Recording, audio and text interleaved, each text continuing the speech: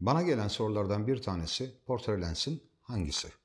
Ben de kendime bu soruyu uzun süre sordum ve yaptığım denemeler neticesinde en sonda kararımı verdim.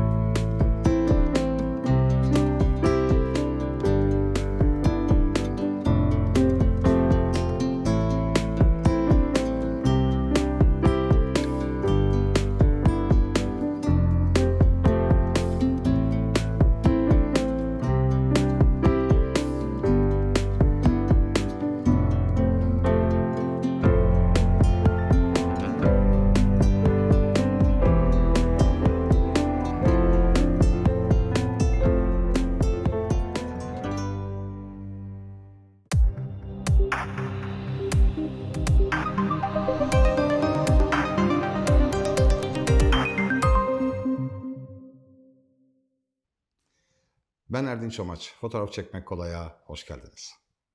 Seçimimdeki kriterlerim nelerdi? 1. Lensin sıkıştırma oranı. Bu kriter çektiğiniz portre resimlerinde özellikle yüzün ve vücudun genişlik oranını en doğru yansıtan ve en avantajlı konumda yansıtan lenstir. 2. Bokeh. Bu kriter tercihe göre çeşitlilik gösterebilen arka alan bulanıklığını ve portreyi arka alandan ayrıştırma özelliğidir. 3. Otofokus ve otofokus soluklanması. 4. Görüntü kalitesi yani renk yansıtımı, keskinliği, cam kalitesi. 5.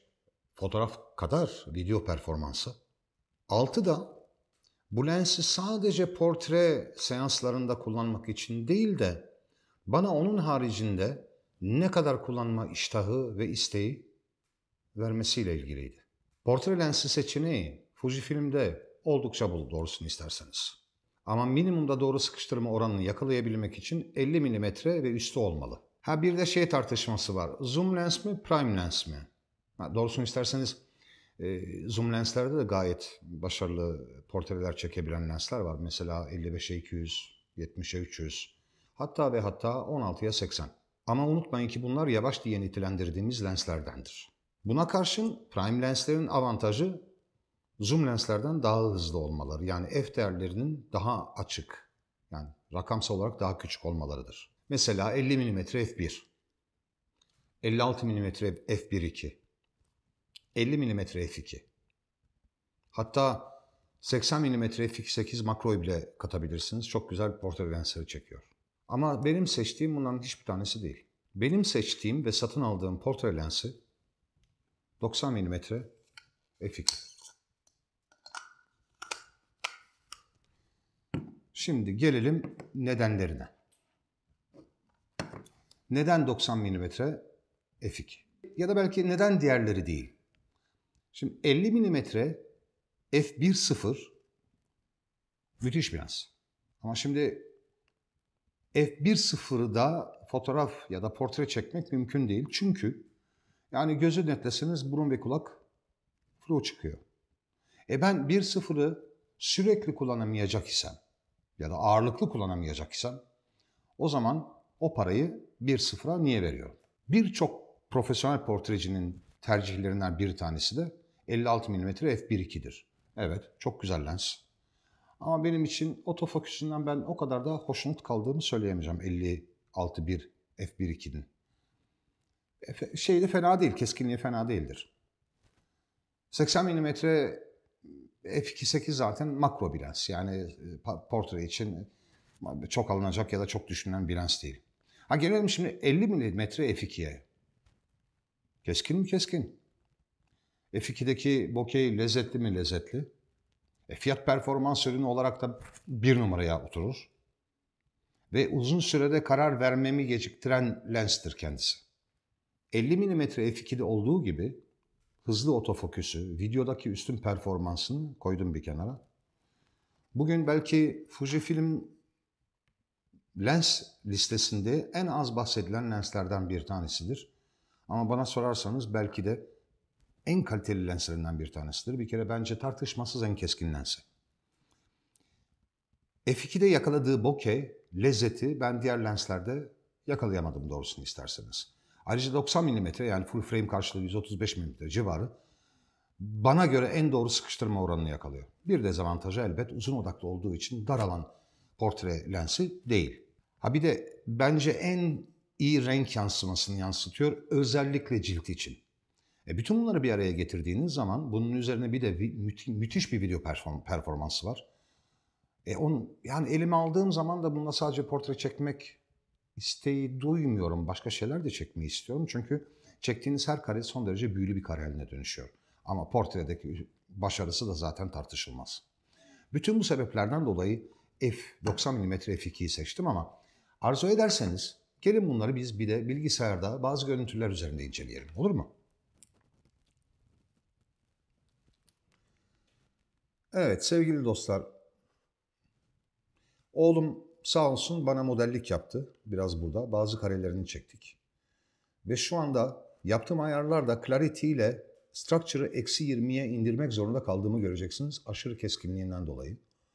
Buna rağmen böyle bir netlik yakalıyorsunuz. Böyle bir keskinlik yakalıyorsunuz bu lenste. Bokeh'ine gelince bokeh'in lezzeti bambaşka tatlı. Ve gördüğünüz gibi oldukça da yuvarlak. Biraz onion rain, e, ring olabilir ama çok çok önemli değil. Ben çok benim çok beğendiğim bir bokeh tarzı. Daha uzak portre çekimlerinde de arka alan bulanıklığını yine de süjeyi ayırmaya yeterli olduğu gibi renk tercümesi, renk yansıtması gayet dört dörtlük bir lens olduğunu görüyorsunuz. Gelelim bir tane daha başka bir kareye. Ama dediğim gibi onun haricinde de böyle çok güzel, çok keyifli kareler de çekebilirsiniz. Birkaç kareye daha bakalım, birka birkaç portreye daha bakalım. Müthiş değil mi? Gözlerdeki parıltıya bakın. Harika, harikulade. Çok da fazla bir şey, düzeltme yapmadığımı görün yani. Biraz highlight'ını kıstım. Ee, az bir şey, çok minimal bir shadow dokundum. Daha uzakta olduğu için burada clarity ve structure'a dokunmadım. Ama yaklaştıkça onlara dokunmakla yükümlüsünüz, dokunmak zorundasınız. Arkadaki bokeh'in tadına bakın. Ama benim için bokeh ne zaman lezzetli biliyor musunuz? Arkada ne olduğunu anlayabildiğiniz müddetçe lezzetli. Yoksa F1.0'daki gibi arkada ne olduğu belli olmayan bir bokeh de benim için çok çok değerli değil. O yüzden F2 tercih ettim. Bakalım biraz daha farklı karelere bakalım. Yine yetkinin güzel bir portre çekimi var burada. Burada çok şeker bir küçük dostumuz var. Şuradaki karenin lezzetine bakın, tadına bakın, detaylarına bakın ve bokehine bakın. Bakalım başka var mı? Öyle size göstereceğim. Evet. Yine yetkinden bir tane. Burada bakın güzel bir çiçek yakalıyorsunuz ve çiçekteki keskinliği arkadaki bokeye tekrar bakın. Burada eğer yanılmıyorsam çok sevimli bir dostumuzun karesini çektim. Onu ben biraz büyüteyim size öyle bakın. Şunun tadına bakın ne güzel uyuyor ya. Ama karedeki detaylara bakalım hep beraber arkadaşlar. Yani keskinlikten hakikaten ödün vermeyen bir e, lens. Sonra birkaç kareyi daha göstereyim ve bitireyim size dostlar. Onları da büyük olarak göstereyim. Ve yorum yapmadan size teker teker geçeyim ben bunları.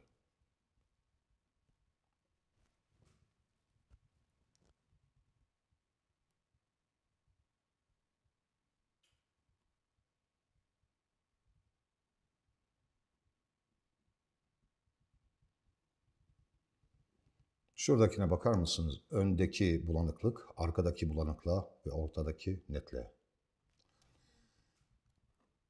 Evet sevgili dostlar bir iki tane daha var. Onlar çok da önemli değil. Gelin şimdi bir de videodaki performansına bir göz atalım.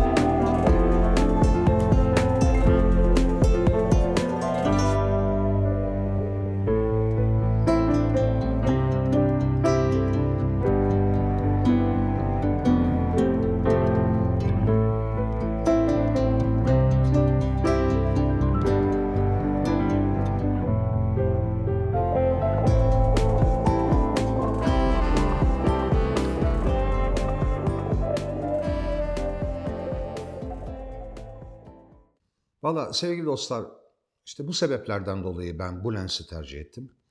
Hem videodaki performansı hem otofokustaki hızı hem güvenilirliği, keskinliği, müthiş renk tercümeleri, yansıtmaları ve güvenilirliği. Yani paranızın evet ucuz sınıfta olan bir prime lens olmamakla beraber verdiğiniz her kuruşu sonuna kadar hak ettiğini ben söyleyebilirim. Umarım bu içerik sizlere değer katmıştır ve beğenme butonunu hak etmiştir.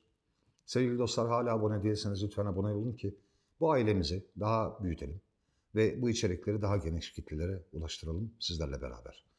Şimdilik huzurla kalın, sağlık ile kalın, keyif ile kalın. Hoşça kalın.